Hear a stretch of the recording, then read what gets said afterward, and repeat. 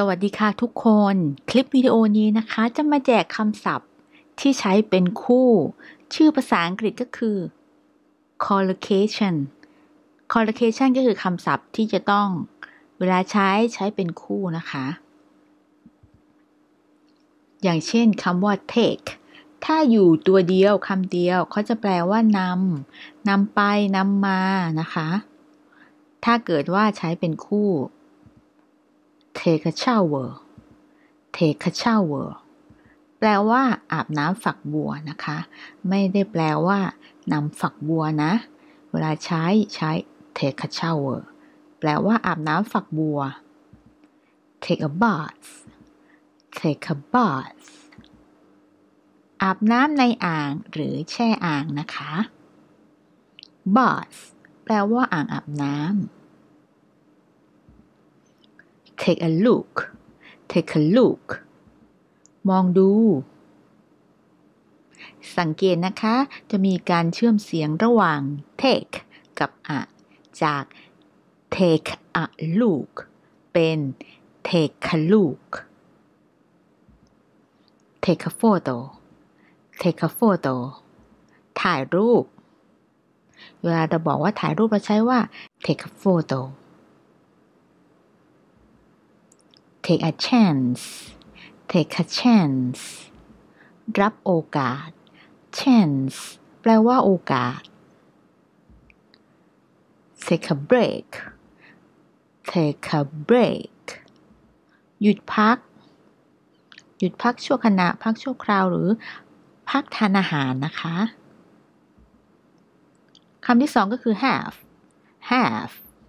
ถ้าเป็นคำศัพท์คำเดียว have จะแปลว่ามี หรือแปลว่ากินก็ได้นะคะสำหรับมื้ออาหาร have a shower have a shower อาบน้ำฝักบัว have a drink have a drink ดื่มน้ำ have breakfast have breakfast กินข้าวเช้า have lunch have lunch กินอาหารกลางวันหรือทานกลางวัน have dinner have dinner ทานข้าวเย็น have a rest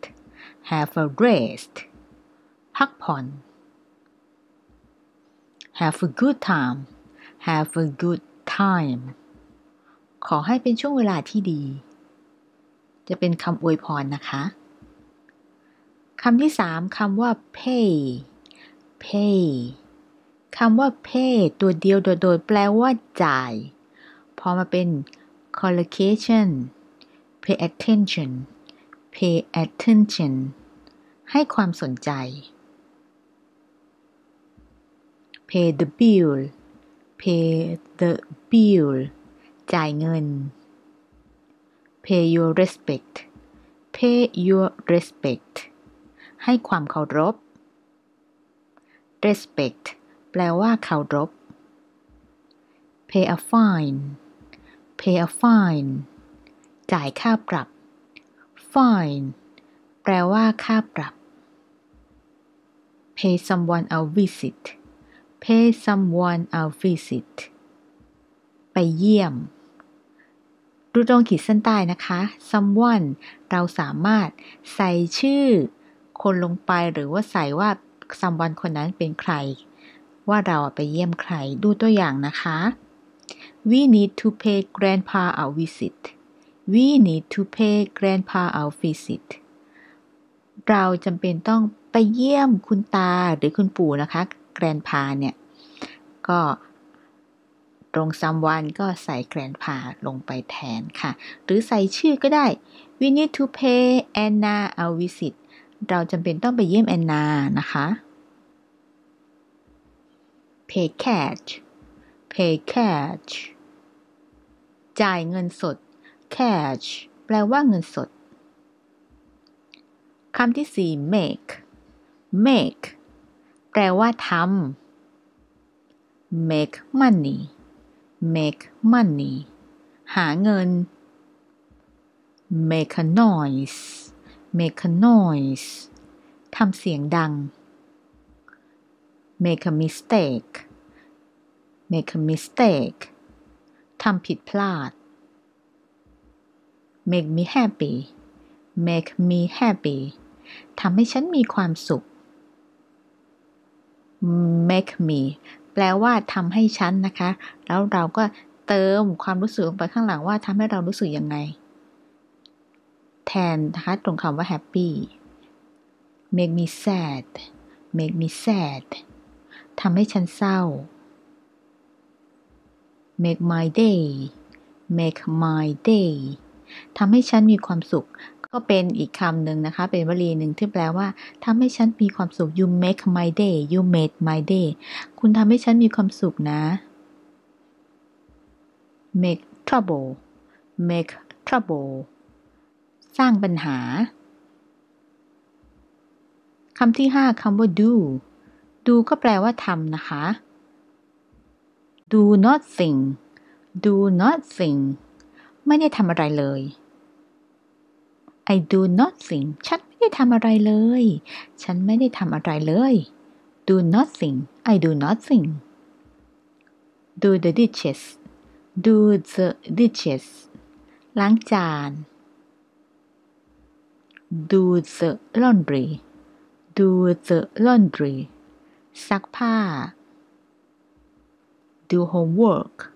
do homework ทำกันบ้าน เราจะไม่ใช้ว่า make homework นะคะ เราจะใช้ do homework do a favor do a favor ช่วย can you do me a favor คุณช่วยฉันหน่อยได้ไหม do the shopping do the shopping ซื้อของคำที่ 6 tell tell แปลว่าบอก tell the truth tell the truth พูดความจริง บอกความจริง tell a lie tell a lie พูดโกหก tell a joke tell a joke เล่าเรื่องตลก tell a story tell a story เล่าเรื่อง tell the difference tell the difference บอกความแตกต่าง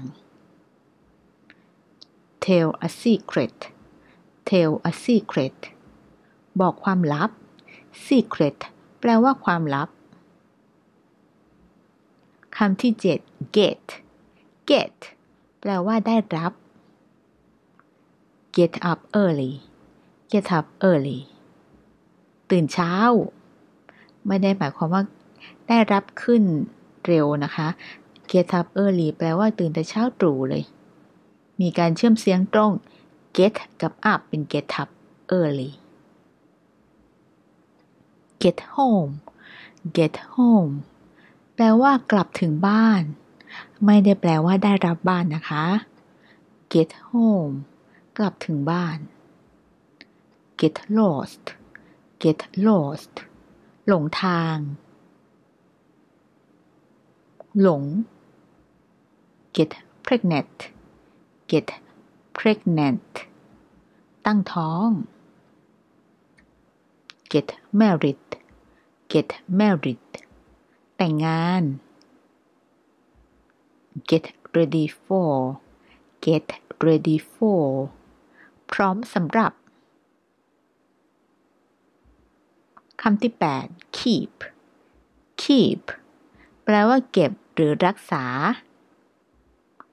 keep a secret keep a secret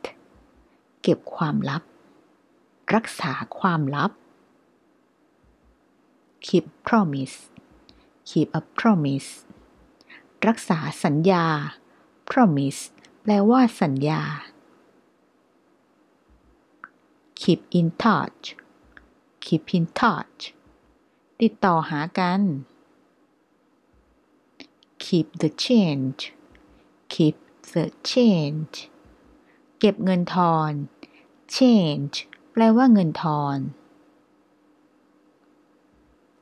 keep a secret keep a secret เก็บความลับ keep calm keep calm ใจเย็นๆ คำที่เก้า come come แปลว่ามา come first come first มาก่อน มาคนแรก come last come last มาสุดท้ายลำดับสุดท้าย come early come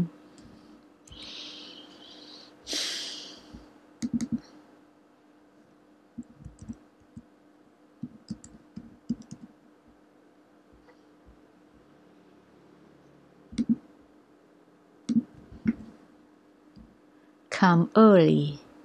มาก่อน มาแต่เช้า come on time come on time มาตรงเวลา complete come complete with come complete with มาพร้อมกับ come cheap come cheap ราคาถูก คำสุดท้ายคำที่สิบ save save ประหยัด save money save money ประหยัดเงิน save time save time ประหยัดเวลา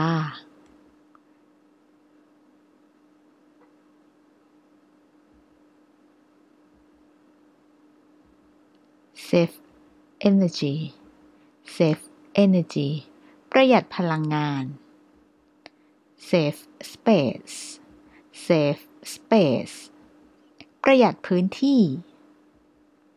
save a seat save a seat save a seat จองหรือเก็บที่นั่ง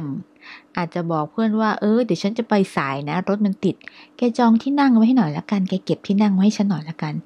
save me a seat โอเค ถ้าชอบคลิปนี้คลิปนี้มีประโยชน์ ก็อย่าลืมกด subscribe กดกระดิ่งนะคะ เพื่อที่จะได้ไม่พลาดคลิปสอนภาษาอังกฤษเข้าใจง่ายนะคะ หรือไปกดไลค์กดติดตามที่เพจเรียนง่ายภาษาอังกฤษแอดไลน์มาคุยกันได้ที่ at 59 abc ค่ะ Thank you for watching see you soon bye